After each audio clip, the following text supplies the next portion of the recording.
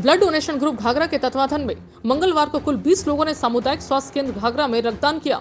रक्तदान करने वाले में दीपक कुमार, शिक्षिका ज्योति पांडे, मिहिर झा, बिट्टू शर्मा, गगन साहू, प्रभात साहू, अभिषेक साहू, प्रदीप भगत, आशीष सोनी, सामुदायिक स्वास्थ्य केंद्र घाघरा में पदस्थापित डॉक्टर अरुण कुमार दानिश अंसारी एजाजुल कुरैशी, संदीप कुमार, महेंद्रा उराव, साथ ही अन्य लोग शामिल हैं।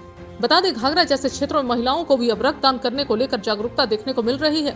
पूर्व में भी महिलाओं ने घाघरा में रक्तदान शिविर में ब्लड डोनेट करने का काम किया है। महिलाओं को ऐसे कार्यों में शामिल होने में, अन्य महिलाओं में भी रक्तदान के प्रति जागरूकता के साथ साहस बढ़ेगी। रक्तदान के टीम में राकेश कुमार सहित अन्य लोग शामिल रहे। घाघरा गुमला से द नेटवर्क के लिए संजय मिश्रा की रिपोर्ट और ऐसे ही तमाम खबरों के लिए आप देखते रहिए द नेटवर्क।